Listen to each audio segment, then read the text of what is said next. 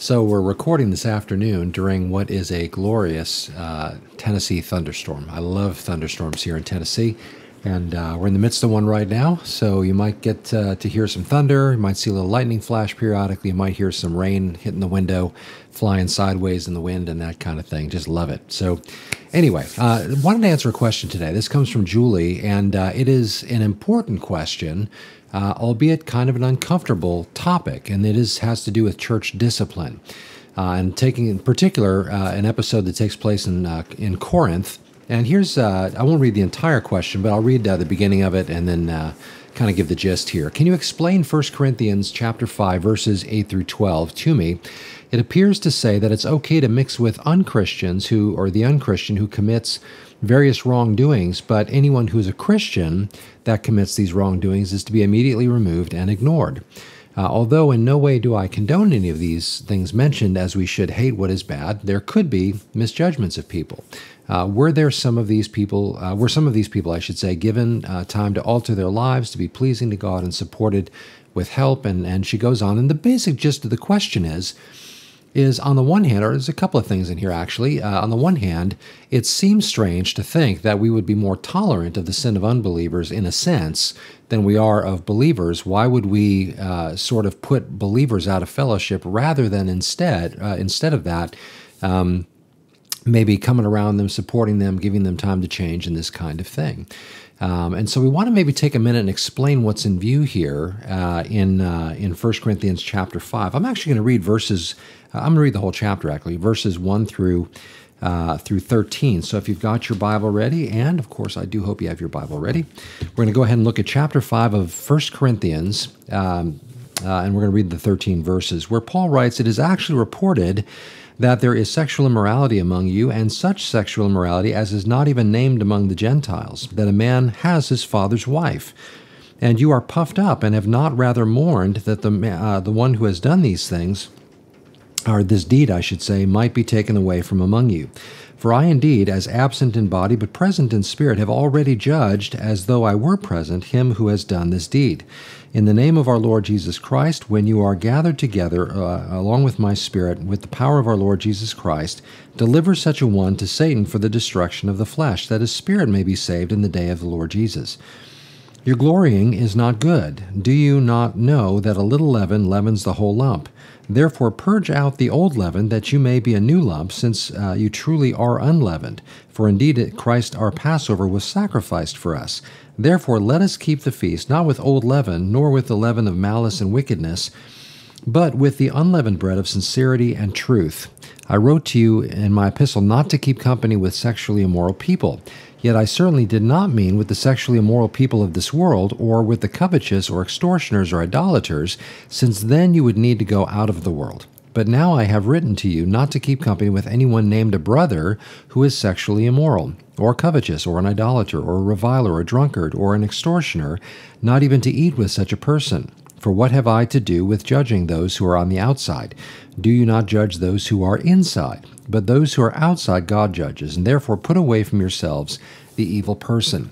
So, yeah, Paul deals very directly with the fact that a very heinous sin was taking place in the midst of Corinth, uh, the, the Corinthian church, but it was not being dealt with. Uh, and and a couple of things here I would point out. Let me start with something very simple and basic. But the idea that uh, that all judgment is wrong or judgmental is not true. Some judgment is necessary. There's some of that great thunder. Uh, so, uh, some judgment is right and righteous and just and necessary in order to keep a healthy body. Much in the same way that your body fights off things that would do damage to it, so too, if there is if there is something damaging within the body of Christ, it ought to be dealt with, uh, and sometimes even in extreme ways, as Paul describes here. So that's one thing. Uh, the second thing is that the uh, the question of whether or not uh, a person was being immediately cast out from among the believers uh, is a little bit in question. I don't know that the issue is that um, that as soon as the guy was guilty of the sin, he needed to be cast out. But rather, what was going on here, and what Paul is describing, is the fact that not only was this sin going on, and again, a sin that is something even unbelievers were not generally accused of, and this was the idea that a man is uh, is sleeping with his father's wife. Now, the way that's the way it's spoken of there, would seem to imply that maybe this is not the man's mother, but maybe like a second wife or something like that. So we don't really know anything else about the details there. But um, the son of this man is sleeping with this man's, uh, with his father's wife. And the other element with that is that this has been going on to the point where, was, where Paul found out about it, and to that point, they hadn't been dealing with it. Um, now, this had to be heartbreaking for Paul because he spent 18 months with this church, we learn in the book of Acts. And even after all that time, under the tutelage of someone of the caliber of the Apostle Paul, this church, by and large, is most known for its carnality. And so, uh, this is something that, again, I, as a pastor, I would imagine had to have been heartbreaking for Paul to hear that this church that is claiming to be so spiritual and even is legitimately practicing uh, the gifts of the Holy Spirit. They're speaking in tongues, they're prophesying. They're not practicing them legitimately necessarily, but what I'm saying is that they legitimately had those gifts. Uh, there were miracles being done. All of the gifts of the Holy Spirit seem to be in operation in this church. Yet, nonetheless, whereas those should have been marks of great maturity, they actually were ironically uh, juxtaposition to the fact that they were completely immature and carnal. And so this is problematic, and therefore judgment in this case of this circumstance and their lack of dealing with it was just and right and, and necessary in order for them to be healthy. So Paul addresses this uh, and, and, and talks to them about casting this one out and even delivering him to Satan for the destruction of the flesh, that his spirit might be saved in the day of the Lord Jesus. Now, there are lots of, I shouldn't say lots, but there are varying understandings of what it means to be delivered over to Satan. But generally speaking, what is most likely in view here is that this person is uh, being, uh, it, Paul is telling the church there in Corinth to cast this one out of fellowship uh, so that God can deal with him outside of sort of the apparent by silence condoning, or at least just not feeling it was worth dealing with, of this sin by the body there in the church. Now, by the way, in the church was not just some amorphous group of people who were believers, but there were leaders in that church. There were those who had the responsibility of dealing with these things. Uh, but at whatever level, both at the at the um, fellow believer level, but even at the leadership level, there seemed to be no real dealing with this issue. Um, now, I should say that this can be an uncomfortable topic to deal with, not just sexual immorality. That that can be uncomfortable for a number of reasons, but but even just the idea of church discipline can be difficult because nobody wants to come off as being divisive. Sometimes we just feel like we'll pray for the person and just hope that things change over time. But the Bible teaches us the importance in passages like this, or even in Matthew 18, where Jesus talks about uh, uh, discipline within uh, the assembly of believers. The idea of of going to, if you know a brother's in sin, you go to that person as a brother and you confront them about it. If they don't turn, then you bring a couple of other brothers with you and the three of you confront that person. If they still won't change, then you bring them to the leadership, or you bring this to the attention of the leadership, or bring the person to the leadership. The idea is that the leadership now becomes involved.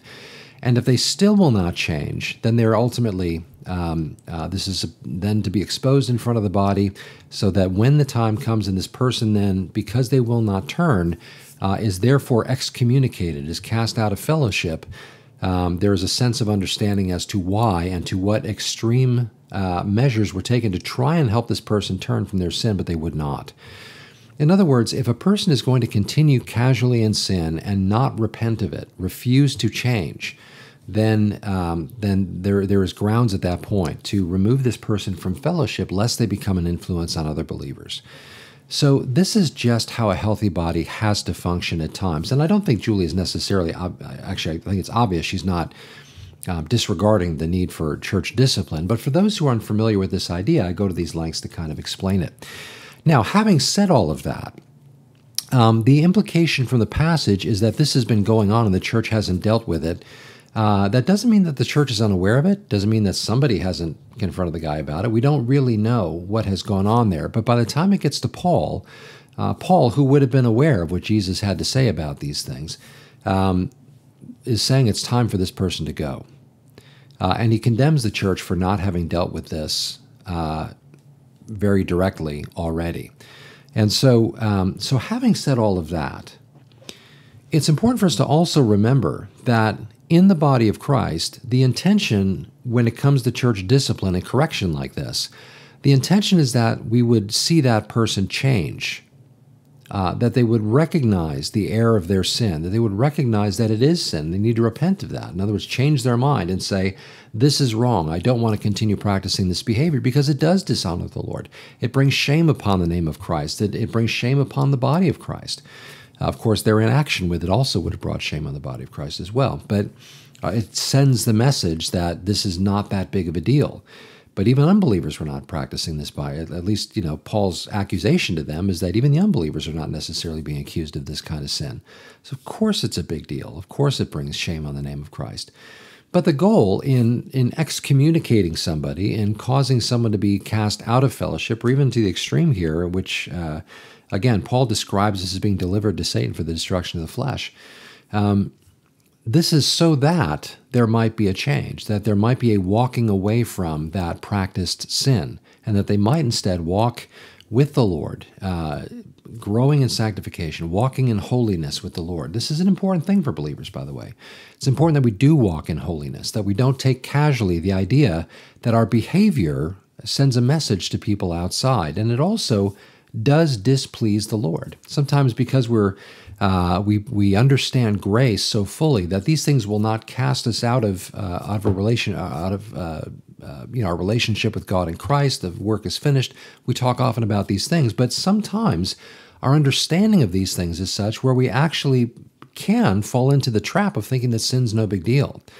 No, it remains a big deal. All we have to do is look at the cross and understand just how big a deal our sin is. When Jesus died for past, present, and future sins, that means the ones that we might be currently committing, these are things that fell under the auspices of the paid penalty at the cross. This was the cost of these things. And so, why would we want to walk in them? Uh, so, walking in holiness is a big thing, and we don't just set that aside. We want to make sure that we do this so we honor the Lord but we also recognize the power of the testimony of a holy life to those, um, uh, you know, who are on the outside. Now, Paul, in speaking of those on the outside, let me address that really quickly too.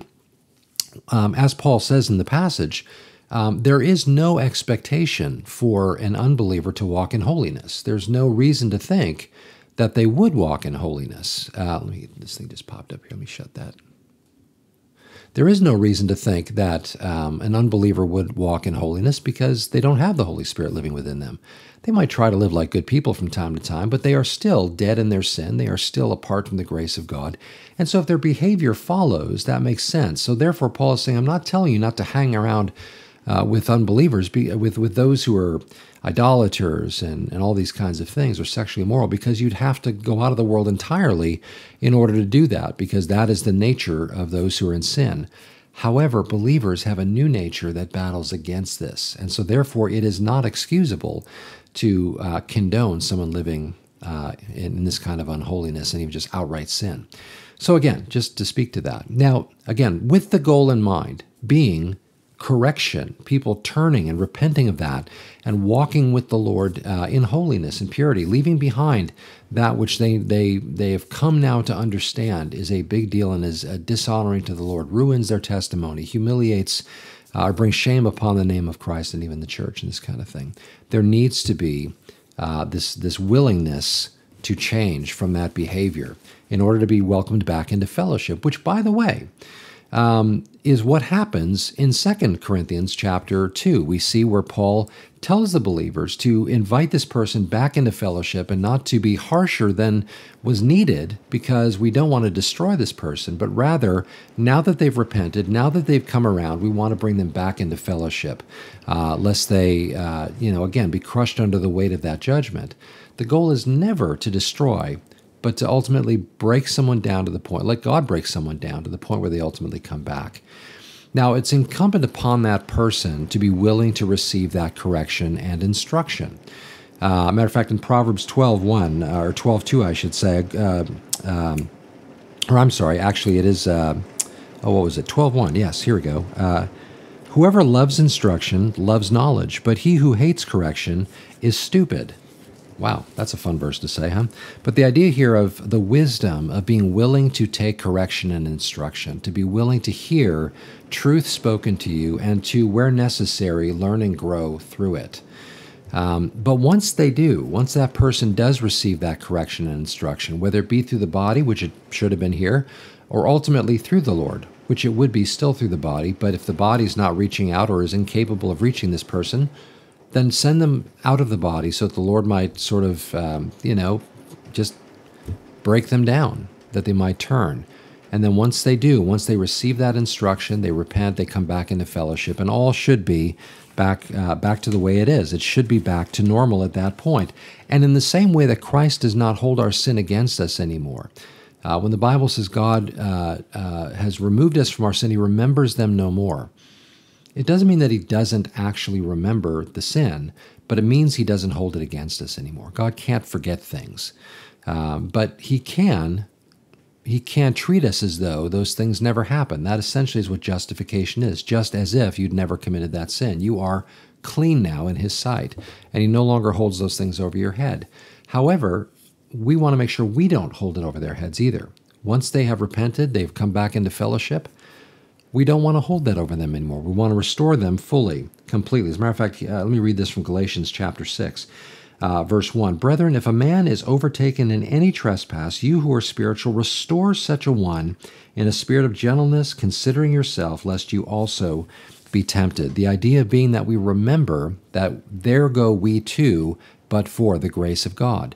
And so, therefore, we want to extend that grace to a person when they are, in fact, uh, ultimately, um, you know, when they when they ultimately have repented and, and are restored. We want to make sure that that is the goal, that they no longer walk in that way, but once they have repented of that, we bring them back into fellowship in that.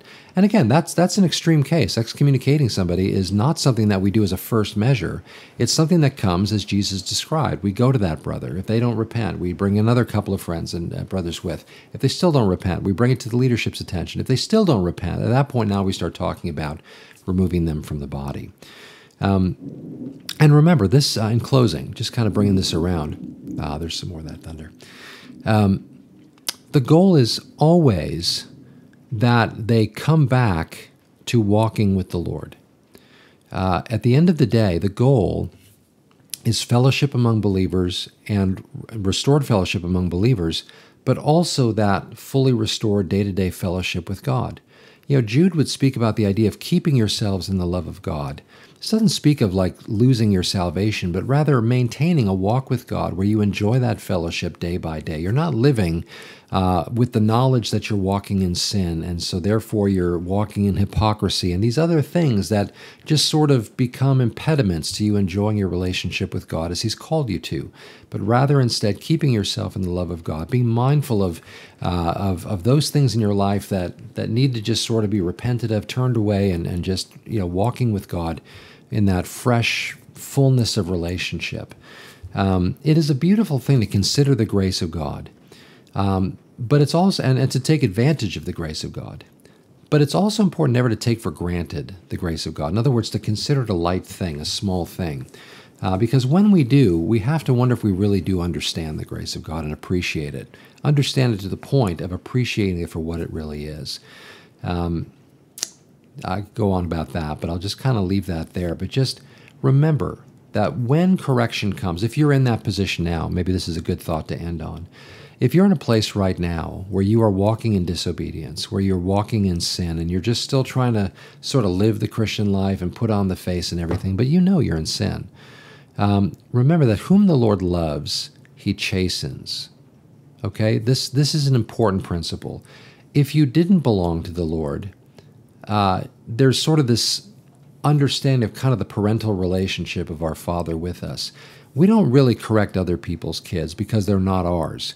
But we do correct our own kids, and we do so because we love them and we want them to make sure they avoid the pitfalls that sin and rebellion will bring into their lives if they walk in those ways. So, out of love, we try to teach them uh, the right way to go, and when necessary, we correct them. Well, in the same way, whom the Lord loves, he chastens. And so, if you're in active rebellion right now, and I don't mean there's some secret sin you're not aware of and you suddenly need to dig deep inside yourself and, and just search out every possible. That's not what I'm saying. Sometimes we can guilt ourselves even when we're not really doing anything, but we just sort of have this self condemning personality. That's not what I mean. What I mean is that if you know that you are living in sexual sin, if you know that you are being dishonest about things with people, if you know that you are uh, cheating people in some way, then be like uh, Zacchaeus, who made it right with those who he had wronged. Um, that uh, we would repent of that way of being and thinking and acting, and instead confess that before the Lord and say, Lord, thank you that you died for that sin. Thank you, Jesus, that I am free from the penalty of this, but I still don't want to be guilty of this anymore, doing this, actively doing this to people.